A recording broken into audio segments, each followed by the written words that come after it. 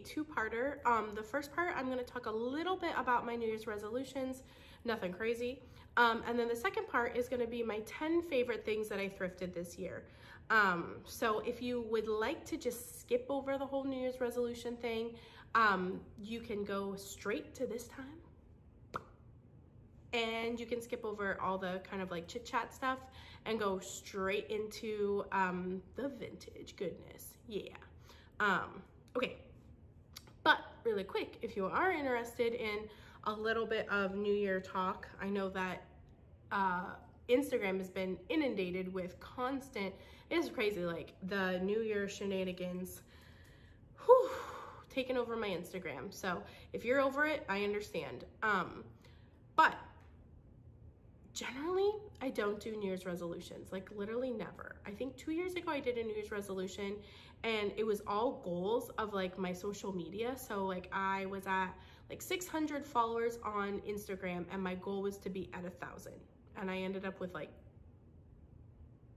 650 like something crazy. Like I was hoping to get like those 300 followers in a year and I got like 50 followers. And so I was kind of let down by that um, and then I realized this year that it's really silly to make a New Year's resolution based on something that you can't directly control. Like, yeah, you can indirectly control based on your content and the regularity of how much you post and what you post, and I get all that, I really do. But also, you can't really force people to subscribe to you. So, I don't know.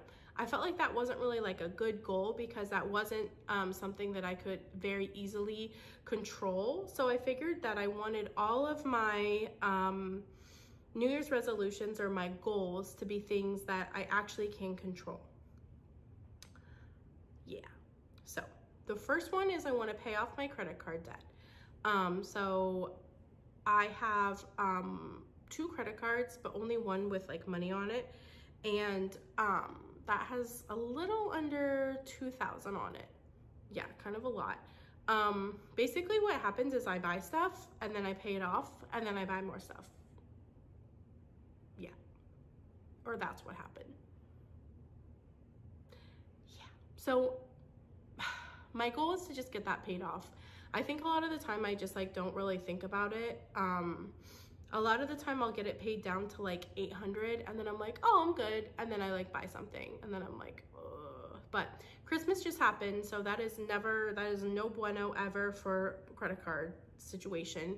Um, so I'm really hoping that I can get it paid off this year. I feel like that's not that hard. We'll see. Um, okay, so my second goal is to get everything that I have purchased um, for resale or like just everything that I would like to resell listed. Um, so that sounds like a really ridiculously easy, like, oh, what most resellers do just naturally without it being a goal. Yeah, that, yeah. Um, I don't know. I thrift a lot, obviously, and sometimes I just like get really overwhelmed and I'm like, ah, and I just throw it all in storage um, especially when we were living in our condo because it was like stuff was everywhere and we were bursting at the seams. So that was really bad. And then sometimes when I get like more overwhelmed and anxious, I'm like a hoarder and then I just like go and I thrift more because I'm like, oh, but thrifting makes me feel so happy. But then um, having a bunch of junk everywhere does not make me feel happy. So yeah, TLC, your girl's over here. No, I'm just kidding. But anyway, um, when we moved, we did have like a bunch of tubs of stuff that I wanted to list and I'm finally like really in a good groove of like going through it and listing. Um, it's really sad because my Etsy's been open since like 2016, but I've only started like being pretty consistent about listing like in the past six months. So that's my goal is to get all that stuff listed. It doesn't matter if it sells or not. I just want to get it listed. Um, I have a bunch of clothes, old clothes that I want to list too. And then just even walking around the house, it's like you thrift something and you feel such a strong emotional connection to it when you thrift it. But then after a while, you kind of like, it's not that you don't like it anymore. It's just that you don't feel that strong, like, oh, I'm obsessed with it feeling. And then that's when it needs to go and it's time to to sell it to someone who does feel like a strong emotional connection to it and then go out and thrift something new. So that's kind of where I'm at. I love like change in our home, like always just refreshing. Um, so in order to do that, I need to actually get off my booty and start listing stuff. So that's my second goal. And I think I can, I think I can do it. Bear's been helping me a lot. Um, so yeah, thank you, Bear. Okay, last thing. This is another goal that's kind of ridiculous. So again, these New Year's resolutions, it's not lose 100 pounds. No, no. These are things that I feel like should have already happened, but I'm finally like taking a stance against my laziness and actually doing it. Um, so the last thing is um, we've been in our house for a year, like a little over a year, like a year and two months. Um, and when we first moved in, we gutted the upstairs bathroom. Um, so it is a full bath, but it's very tiny, like super, super small. Um, but we took everything out, like the walls, the subfloor. Um, Jordan's like sanded the popcorn ceilings off the ceiling, like everything. It, we even need a new window, like literally everything. Um, but that being said, because we need so many things, oh, and we moved where all the hardware is gonna go. So we moved where the sink is gonna go and where the shower is gonna go. So it's been a lot. Um, but anyway, still, even with all those things that needed to happen, that bathroom should be done by now, but it's not even close to done. Um, so definitely want to get that done as soon as possible. I'm my goal is not goal, but my idea is that in about six months, I want to check back in and do like a resolution check-in and kind of see how I'm doing. So I like hold myself accountable for actually getting things done. But it's sad because I can't have people really come and stay. I mean, I can, but like until the upstairs is totally done and ready for them. So, ah, um, that's my second goal or my third goal. My last goal, which kind of coincides with that, because it's sort of like 3.5 is just to love our home the way it's at now. Um, my husband and I both like get really gung-ho and fixated on projects and I know I get super overwhelmed with um, all the projects that I want to do. Like right now, if I could take a sledgehammer to our master bathroom, like I totally would. I would just get rid of everything. But the thing is, I don't have the money to or even like the idea. I don't even know exactly what I want to do in there. So I don't have the money to go in there and fix everything. So if I don't have the money to go in there and fix everything, then I can't just demo and gut everything. So my my point is to just kind of love our home the way it's at. So instead of just getting rid of everything, maybe painting, maybe getting a new shower curtain, maybe um, getting a new mirror and taking the mirror down, getting a new light fixture, like little cosmetic things that can make a big change. Like even right now, you can see this plug right here is like a weird beige, like literally why? Why? But it is, and like all our plugs are that way. So take getting rid of all of those and making them white, painting the walls white, like little things like that, I think are gonna make me really, really happy. Um, El Cabbage is like teething super bad. I almost called her Eloise. Oh my gosh. Um, so she's been munching on the baseboards, so I'm not ready to change out baseboards yet, but that's another thing we could do. So little stuff um, that'll kind of make the home feel very fresh. That's, that's our goal. Okay, so you made it through my um, New Year's resolutions, my fake New Year's resolutions, um, to the vintage part. Okay, so I made a list of 10 things because like if I just said, oh, my favorite thing, at first I was like gonna do, oh, my favorite things that I thrifted, which is pretty much everything. So I'm like, okay, that's not gonna work. I'm gonna have to come up with um, just 10. So again, like I said before, we just moved into this house, not just, but we've been in here a year. And before we moved in, we lived in a condo. So we didn't really have that much furniture, like literally hardly any. So this year has been like the year of buying tons of furniture. So most of my things that are on this list are furniture. And you know, I wanna be honest because truly like my favorite things are most of our furniture. So, I mean, that's legit. I'm gonna show it. So, um, I tried to only pick, there's only one thing on this list that's from like an actual like bona fide like vintage um, seller. Everything else is things that I found at um, thrift stores, um, yard sales, flea markets, stuff, stuff like that. the first five things, just like I was saying, we just moved into a new house, are all furniture items or things that are kind of like too big for me to show you. Even the stuff around me right now is kind of big. Um, but like lamps, furniture, um, rugs, stuff like that. So I'll insert separate clips so you can kind of see all those guys in their natural habitat. Um, but the other five things that I wanted to show you, I kind of have accumulated all around me. All right, so the first thing is, um, it's kind of like three pictures in one because um, they're all the same thing. So I collect taxidermy butterflies, but I don't have a lot of taxidermy butterfly pictures. Um, I have a few of like just two, but I don't have a lot of like, a lot of butterflies. So, um, sorry guys, I'm a little stuffy. Um, the ones I'm gonna show you I'm super excited about. I would love to do a whole gallery wall of taxidermy butterflies. I'm not sure if I'll ever find enough to actually do that, but it would be amazing if I did. Um, so the first one is kind of hard to see because it's see-through glass, um, but these fantastic butterflies, um, it has a little hook, so those are absolutely magical. I am obsessed with them, um, and I love the wood frame. And then um, to kind of go along with that are these. So it's just a bigger version of it. Um, it's a little bit dusty. Sorry about that. It's on the floor in my closet waiting to be hung. But yeah, they're just absolutely phenomenal, completely spectacular. Um, one of my favorite things that I think I've ever gotten. So really, really excited about both of those. Put that here so it doesn't get messed up. All right, and then the last one is also butterflies. Um, so these two I found, the first two that I showed you, I found together at the same estate sale. And then this one I found um, at like an outdoor market. Um, so this one's gonna be a little harder to show you, but it's just this beautiful cabinet of all of these butterflies. So really, really, really magical. Um, one of my favorite things I think I've ever found. Um,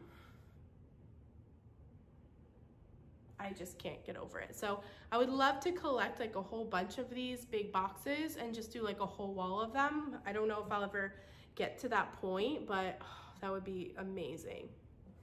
Okay, so I kind of grouped all the butterflies together as one thing um, so that I could cheat and show you a few more things. All right, so then the next thing that I was gonna show you is this, um, this is an antique seeds box. It's a little bit difficult to show you because it's quite large, as you can see. It's very large. Um, okay, so kind of see the graphic and the writing on the front.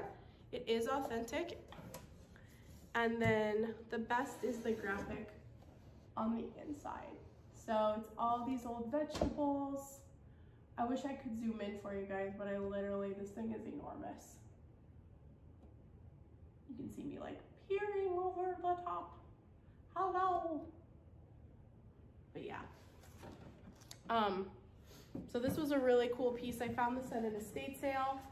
And one thing I want to say is like all these pieces were varying prices. So like some things I got for like an amazing deal and some things I didn't.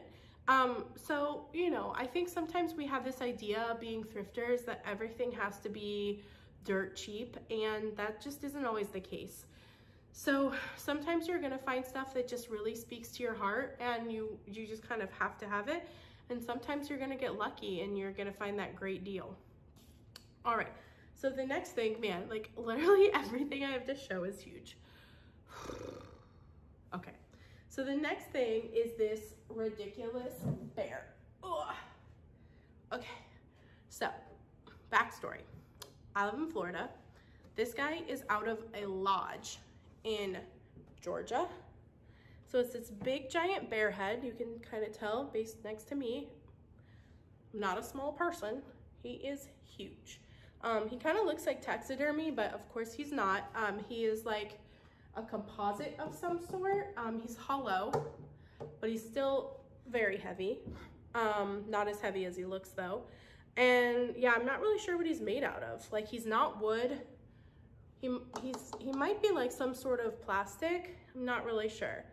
But anyway, I'm pretty much obsessed with him. Um, not, uh, again, like all these things I can show you because I've thrifted or found them and I don't know what to do with them yet. Like it, when I lived in the condo, because it wasn't our home, I was just like throwing stuff up left and right. And now that it's our house and I feel like things are a lot more permanent, I'm struggling with knowing exactly the right place and um, being afraid to commit to hanging things up. So it's been a struggle. Okay, so um, the last two things I just wanted, I wanted to kind of do like all different genres of things. I didn't want to just do um, only furniture, um, only pictures, I don't know. So um, the next thing I wanted to show you is a piece of jewelry. Um, this is kind of my cheater piece because this piece I did find at like a vintage market. I found this in Mount Dora um, at Renninger's um, but it's this really awesome necklace. Um, it's Hopi and it's all these amazing carved animals. And I actually um, have a smaller fetish necklace than this. Um, and I, I like that and I wear that too, but I just love like how big and substantial this is. So it's just really chunky and it just looks really cool on. Like it makes a really big statement. And my smaller ones are beautiful too um, and really special, but they don't make as big of a statement. So I'm kind of all into like, lately I've been really into like big chunky jewelry. So, um, or at least necklaces and then like more dainty bracelets. Um, so yeah, love that. And then the last thing is a picture that I thrifted actually. Um, I found this at Goodwill um, and it's a this watercolor um, if you follow me on Instagram, you may have seen when I found this. Um, it's this beautiful signed um, watercolor and I love the frame too.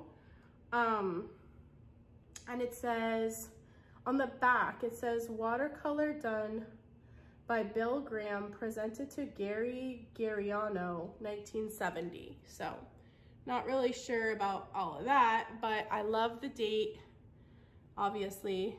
I love that it's signed. I love that it's watercolor. And of course I love the frame and the subject matter is just phenomenal. So again, another piece that I'm like, I don't know what to do with it. I love it too much. But yeah, so maybe I'll work on a gallery wall.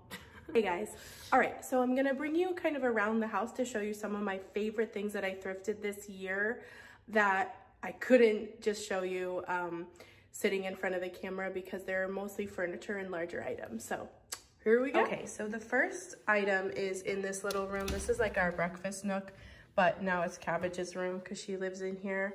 Um, is this Broyhill piece. Um, I got this at an estate sale. Um, I got this and also a matching dresser. So it wasn't one of those things where I got it, I got it for $30. Like we did pay, um, we paid 375 for this um, and the other one. So it wasn't like it was super duper cheap, but I have seen them go like for over a thousand. So I was pretty excited for those prices. Um, sorry about the bunny gate, but we just have her gate up so that she doesn't nibble on it because she does have a tendency to nibble on stuff. So there's Cabbaggio. Hi, Cabbage. All right, so the next thing um, is our dining room set. So we got our dining room table and our um, china hutch at different times, but I kind of included both of them as one thing um, in my favorites list because they really sort of work really nicely together. Um, this table is mid-century, it's Danish. Um, when we got it, it had water stains, really bad water stains and like big gouges in it. Um, so my husband actually refinished it. So that was an OfferUp find. And I want to say we paid like 400 for it, um, or 500. I, I can't remember. Um, the chairs are really cool though. We didn't need to refinish those. So they kind of just look like that. So I love our table. Um, I'm really, really happy with it. And then the other thing that I wanted to kind of include along with that is the China Hutch. Um, the China Hutch was an awesome deal. We got this at an estate sale. I think we only paid $100 for it. Maybe it was like 120, something like that.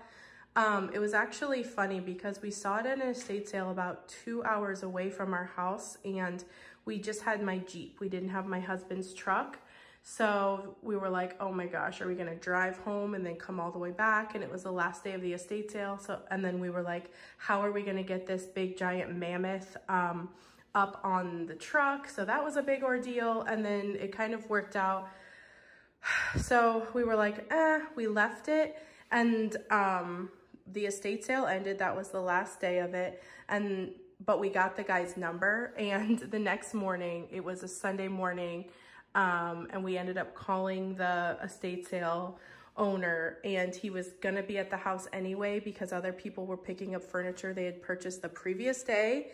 So we were like, can we come and get that um, China hutch? Did anybody get it? So he said yes. So we were able to bring my husband's truck and lug this thing two hours home. Um, it was definitely a huge labor of love because as you can tell, it's a really huge piece.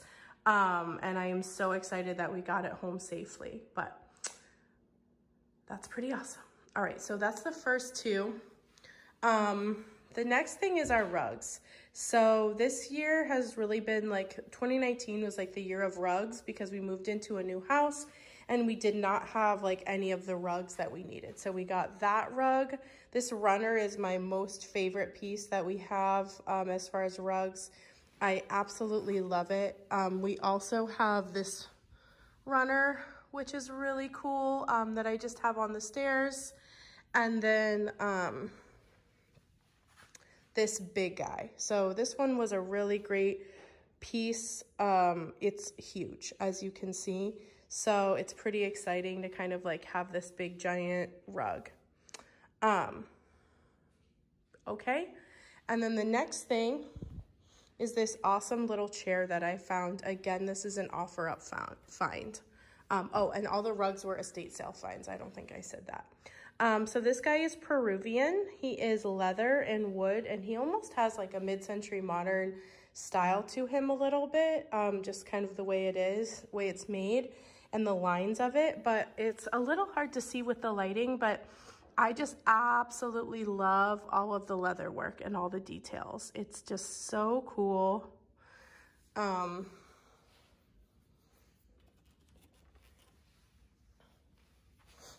trying to take you around to the back. So you can kind of see that they have like, it's held together with little pegs that wrap around.